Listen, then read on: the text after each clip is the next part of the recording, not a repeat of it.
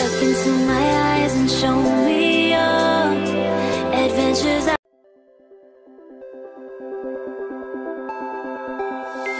Look into my eyes and show me